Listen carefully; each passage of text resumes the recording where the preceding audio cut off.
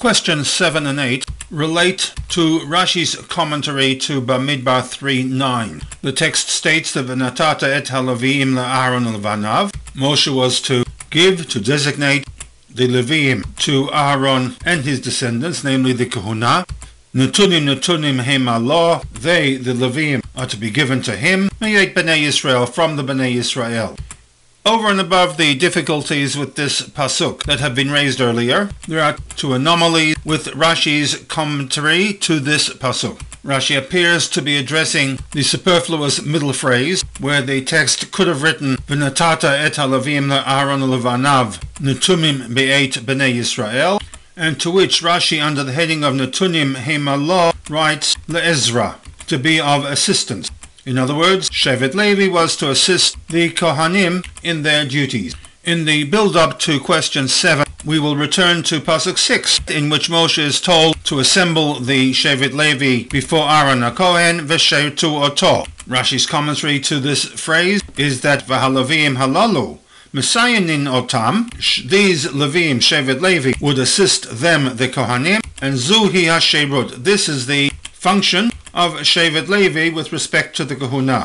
One of the many rules that Rashi applies to the commentary Rashi is that he does not repeat information that had previously been established. And accordingly, one could ask what was the purpose, the intent, in the one-word commentary to the phrase Netunim Hemalot, Ezra, to assist him, referring to the Kuhna, if this fact had been established in his commentary to Pasuk Vav.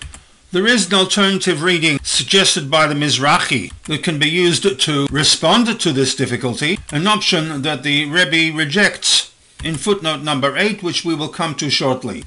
Question 8 is based upon another of the Rebbe's rules with respect to the commentary of Rashi, and that is headings must match the commentary. In this case, it would appear that the word le'ezra is a commentary to the word law in the phrase netunim hema law law referring to Aharon and the Kahuna. If that be the case, the words Netunim Hema have no bearing on the commentary to the word law, and as such one can ask, why has Rashi included these two words into the heading?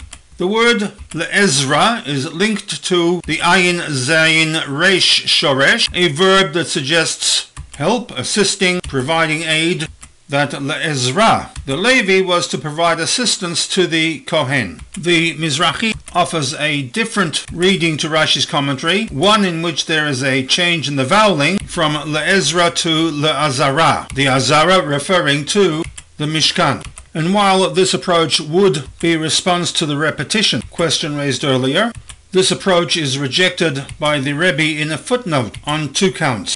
In the words of the footnote, Ve'ein lomar, it is not possible to suggest Shahapirush ledvarim hana'asim ba'azara, that with the words la'azara, Rashi is referring to the requirement that Bnei Levi should provide assistance to the Kohanim in their duties with respect to the Mishkan, the lishlol avodat chol, and the intent of Rashi would be to limit this assistance to the Azara, but not require the Levim to attend to the personal needs of the Kohanim, this approach is ve'en lomar, not acceptable.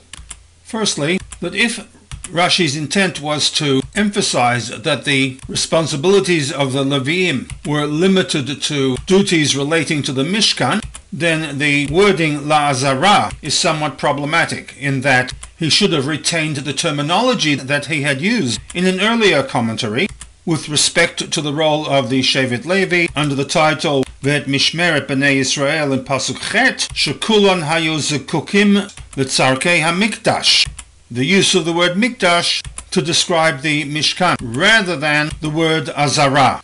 In the words of the footnote, Lamashina Rashi why does Rashi make a change? Lichtov le'azara, to present in his commentary, if it refers to the Mishkan, where he uses the word azara, v'lo katfo b'loshen hamurgal, rather than use the normal terminology used in referring to the Mishkan, namely the Mikdash. Obifrat, this question becomes more pronounced. Shabbat Pasuk Shalifnez, in his commentary to the Pasuk immediately preceding Pasuk Tet, namely Pasuk Chet, Katav letzarche hamikdash, when referring to the Mishkan. Secondly, there's a degree of jaggedness with Rashi's one-word commentary, in that Rather than simply writing the word le'azara, Rashi at the very least should have added one more word, Litzarchei ha'azara, as he does in the commentary referred to earlier, Shekulan hayozekukin litzarchei ha'mikdash, for the needs of the mikdash. And on this basis, the Rebbe rejects the suggestion of the Mizrahi that the voweling for Rashi's commentary should be le'azara, leaving us with question 7, the repetitiveness of the commentary, and question 8, the mismatch between the heading and the commentary.